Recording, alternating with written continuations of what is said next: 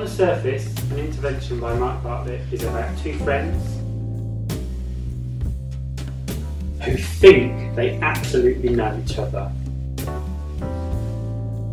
until something happens somewhere else in the world that forces them to uh, express their opinion, You would support an intervention? Yes. to articulate their reactions, Jesus Christ. Should we stop now?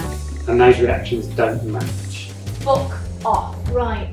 And neither of them would ever have expected that. Wow. I think it's really interesting to have and to see two completely different personalities. Shit, a brick. You're telling me you would.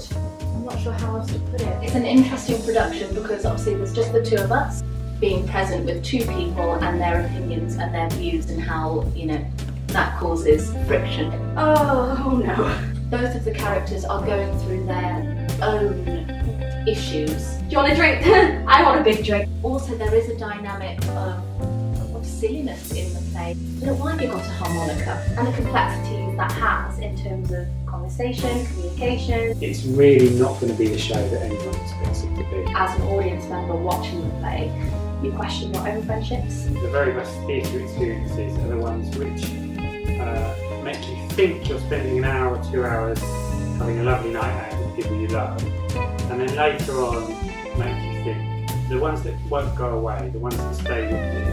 And I think an intervention is like that. Oh, yeah.